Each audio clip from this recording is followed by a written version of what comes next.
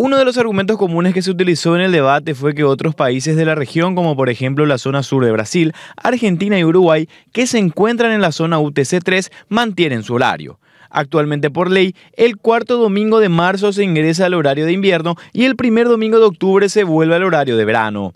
La senadora Celeste Amarilla justificó su voto a favor del proyecto diciendo que hoy las áreas urbanas son mayoritarias y necesitan de iluminación hasta más tarde. ¿Qué es el interior?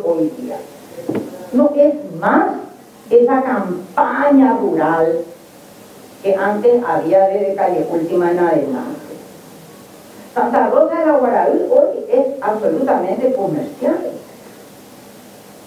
Concepción, San Pedro, ni qué decir, Cabacupé, Coronel Oviedo, Cabaguazú, Juan Leari.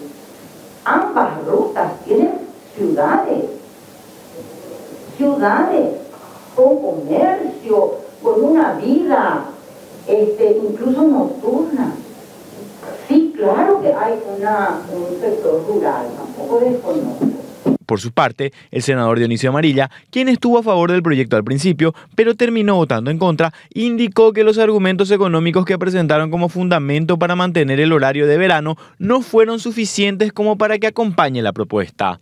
Dijo que el rubro del ocio, como bares, restaurantes y discotecas, no tienen tanta relevancia si se mira todo el espectro comercial. No precisamente nuestra economía y el ingreso que tienen los ciudadanos permite justamente estimular aún esa economía de ocio que fue un poco el caballito de batalla de muchos legisladores. Entonces, ante esa claridad y contundente estadística, creo que no, no constituye ninguna deshonra rever la situación, rever la postura y por sobre todas las cosas reconocer que se necesitaba más tiempo. Pero finalmente se aprobó eso por amplia mayoría